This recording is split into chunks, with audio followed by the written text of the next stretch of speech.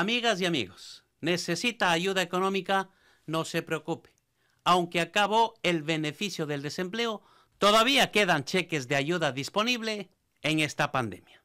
Quédese con nosotros hasta el final del video. Suscríbase a este canal, dele un me gusta y comparta. Bienvenidos.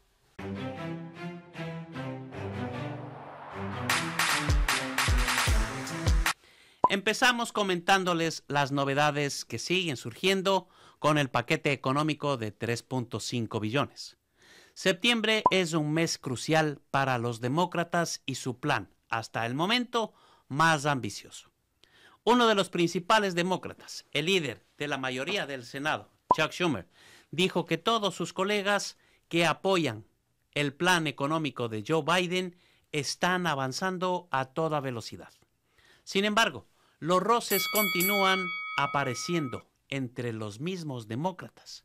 Es el caso del senador Joe Machin, que publicó en un reconocido medio de comunicación un artículo de opinión en el que manifestó las razones por las que no está de acuerdo con apoyar el gasto en el plan económico de 3.5 billones del presidente Joe Biden.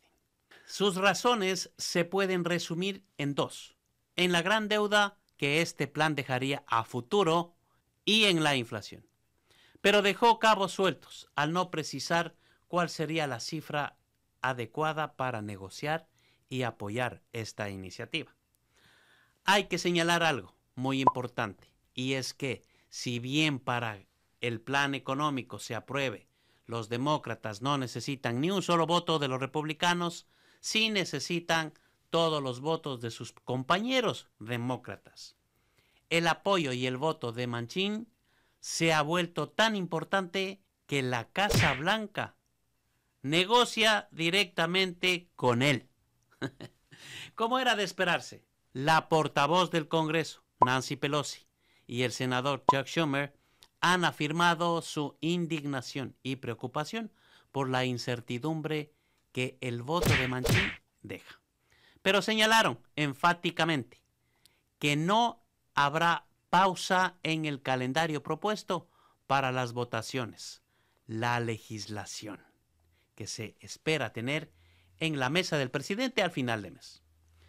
Mucho se ha hablado sobre este plan económico que ayudaría aproximadamente una década a la clase media expandiendo el seguro médico para los jubilados beneficios dentales y oftalmológicos, subsidia las pólizas privadas, impulsa la construcción de residencias de ancianos, invierte en sanidad, educación y vivienda pública, y ofrece deducciones fiscales para las familias con hijos, entre otros muchos apartados. Y en más noticias, una coalición integrada por más de 700 funcionarios electos a nivel nacional envió una carta al presidente Joe Biden y a los líderes del Congreso pidiéndoles que en los debates del presupuesto incluyan un camino hacia la ciudadanía para millones de inmigrantes indocumentados que llevan tiempo en este país y carecen de antecedentes criminales.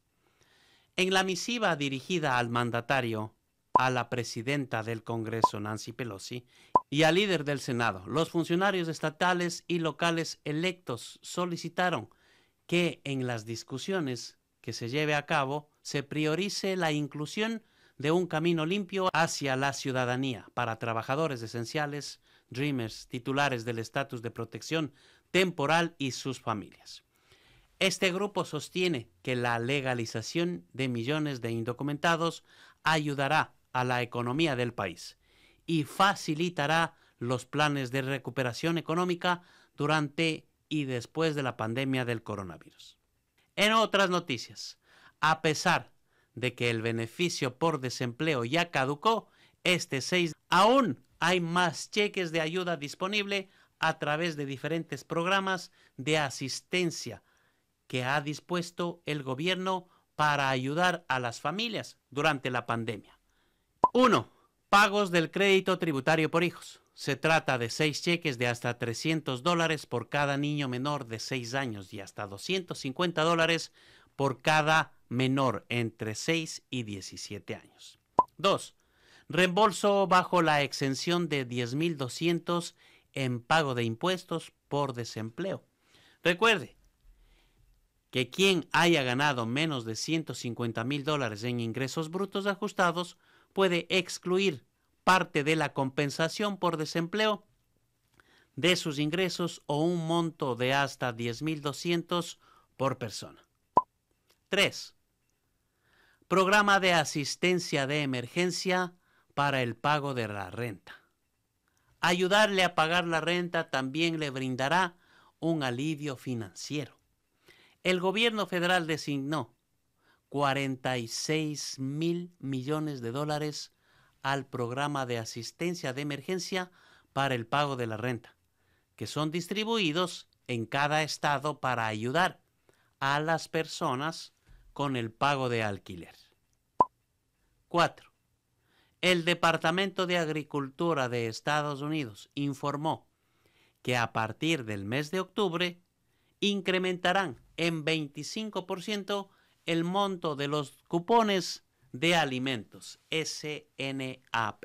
Este dinero adicional beneficiará cada mes a unos 42 millones de ciudadanos en el país. El promedio, cada beneficiario recibirá mensualmente 36.24 dólares o 1.19 dólares diarios, lo que ayudará a asegurar la comida en su mesa. Quinto, extensión de moratoria a desalojos.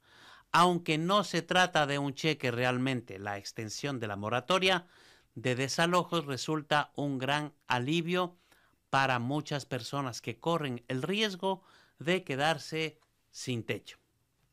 El pasado 3 de agosto, los Centros para el Control de Prevención de Enfermedades, CDC, ordenó extender por 60 días más la moratoria de desalojos a estadounidenses. Esta nueva ampliación de la norma, que vence el próximo 3 de octubre, solo aplica en condados que registren de 50 a 100 contagios por COVID-19 por cada 100.000 habitantes. Aún así, la orden prohíbe al propietario del inmueble desalojar a inquilinos que por problemas económicos no puedan cumplir con el pago de la renta. Amigas, amigos, hasta aquí el video de hoy. No olvide suscribirse a este canal. Si no lo ha hecho todavía, hágalo. Haga clic en subscribe, suscribirse y usted será parte de esta gran familia. Muchas gracias por atender este video y nos vemos en el próximo. Muchas gracias.